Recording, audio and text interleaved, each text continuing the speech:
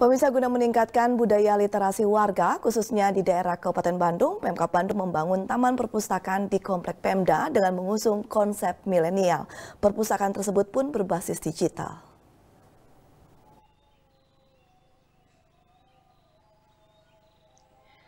Dengan mengusung konsep milenial, Taman Perpustakaan Penuh Warna dibangun di Komplek Pemda Kabupaten Bandung oleh Dinas Perumahan Rakyat Kawasan Pemukiman dan Pertahanan atau Disperkimtam yang bekerja sama dengan Dinas Perpustakaan dan Arsip atau Dispusip Kabupaten Bandung. Seperti taman pada umumnya, Taman Perpustakaan ini rindang dengan pepohonan yang hijau.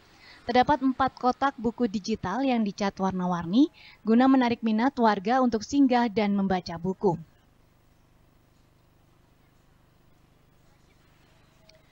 Untuk bisa membaca buku-buku digital ini, pengunjung diharuskan membawa telepon selular dan mempunyai aplikasi Elvan Book Library untuk men-scan kode batang atau barcode yang ada di rak buku tersebut. Dan bagus, uh, bisa buat uh, istirahat gitu kalau udah olahraga.